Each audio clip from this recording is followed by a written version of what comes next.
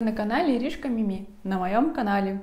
Прежде чем я начну, не забудьте подписаться на канал, поставить колокольчик, чтобы не пропустить следующее видео, лайк, ну и коммент в конце видео, конечно же. Общение это важно, ребята, не забывайте. Речь пойдет сегодня о выпадении шерсти у крыс, линьки. Ну, давайте начнем с самого простого. А, крысы линяют, это нормально, так же как у людей выпадают волосы, у собак и других животных. А, старая шерстка выпадает, новая вырастает. А, чаще всего, вот я по своим крысам заметила, когда это бывает, вот весна к весне и к зиме бывает, что они линяют, прям линяют, прям ходят по кровати, погладишь их, и очень много шерсти остается после них. Это нормально, ничего страшного, в принципе, норм. Второй вариант, когда крыска линяет, знаете, а как? Вот как у нас у Локи был шерсти, он прям вычесывал себя клоками, выдирал из себя шерсть, и у него залысинки были. Мы тогда позвонили ратологу, об, об, объяснили ему ситуацию, почему. Мы рассказали ему все полностью, какой корм он ест, какой наполнитель, какие тряпочки, все мы описали, чтобы врач понял, и ну, смог сказать, на что может быть такая реакция.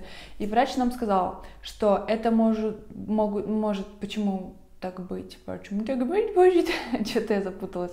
Короче, либо у крысы грибок, либо аллергия на что-либо, на что-либо, либо. Что-то я сегодня запуталась, простите меня. Ну так вот, аллергия на еду, например, на корм, на человеческую еду, на, возможно, парфюм. Вы вот пшикаетесь, в комнате пахнет духами, возможно, у крыски аллергия на это. Или вы стираете тряпочки каким-то порошком или мылом, возможно, на это аллергия.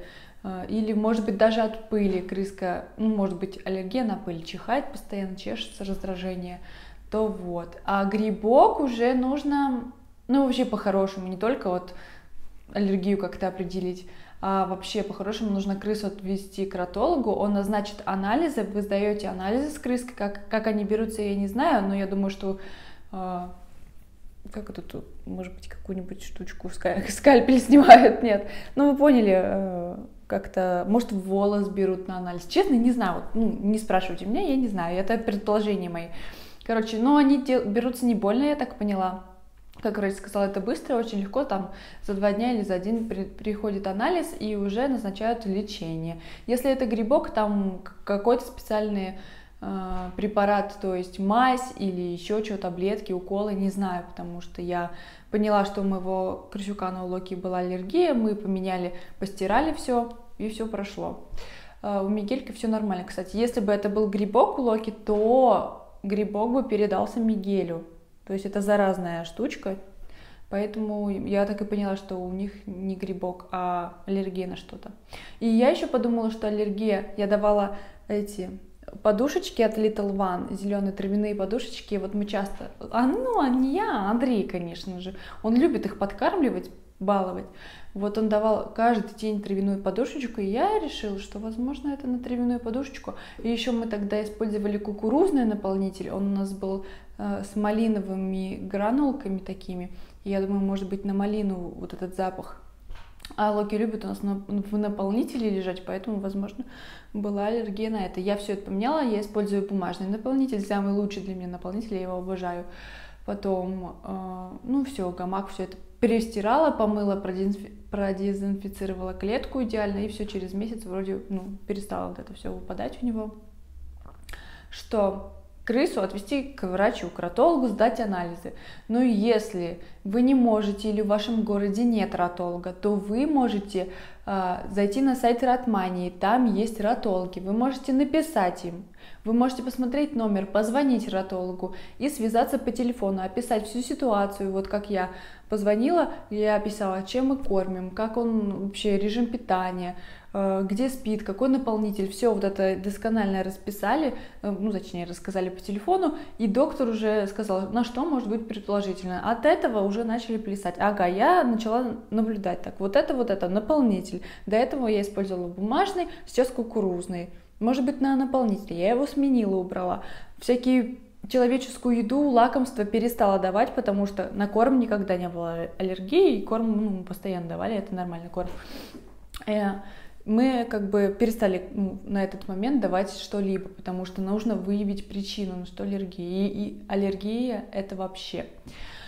Все, поняли, и, в принципе, дальше помощь не понадобилась. Если бы это не сработало, то нам бы пришлось еще раз созвониться с врачом, назначить, мы бы вызвали его к себе домой, мы живем в Москве, у нас как бы с этим проще, можно врача вызвать домой, он возьмет анализы крыски, там анализы сделают, и он уже, врач нам бы сказал, какие лекарства нужно самим покупать, потому что не врач покупает лекарства, а он говорит, что нужно покупать, вы покупаете, а потом врач, ну, как бы, либо говорит, как делать, если это мазь, то мажьте тут, там, один-два раза в день, если это какие-то уколы, то, возможно, либо самим тоже колоть уколы, либо уже к врачу, потому что не знаю, я бы сама, я ни разу не, не делала никому уколы, это же это так странно.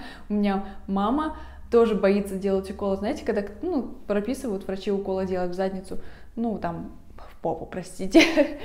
Колоть там у меня, у мамы и папа друг другу всегда колят, когда, ну, заболели они как-то.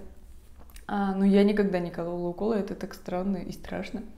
Вот, что, это вот вторая причина. Это может быть просто вот э, падение волос в плане того, что меняется шерстка, старая шерсть на новую. И, а, и третий вариант, третий. Второй вариант это типа она либо аллергия, либо грибок. И получается уже четвертый вариант, что от старости. Крыска стареет, у нее уже в организме, в организме не получается столько витаминов, сколько нужно, от недостачи витаминов, возможно, у крыски выпадает шерстка, она уже так стареет, пришивить начинает, тоже может быть такое. Но я не врач, ребята, я не ртолог, я повторюсь, это все я читала в интернете. Возможно, вы знаете, в интернете могут написать хрень, а может и нет. Я делюсь своим опытом. А, вот у меня была у Локи проблема, я вам рассказала эту проблему.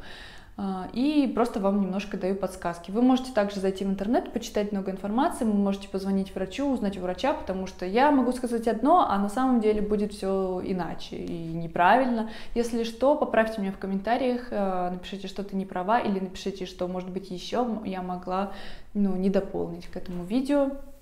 Поэтому имейте в виду. А, да, мои красотки. Ну кстати, тоже сейчас линяют у меня. И Локи, и Мигелька гладишь их, они вообще к лету шерстку меняют, сбрасывают свою старую шерсточку на новую. Ну все, на этом видосик заканчивается. Спасибо, что посмотрели. Ставьте лайк, колокольчик, но я уже это в начале видео сказала. Все, всем пока.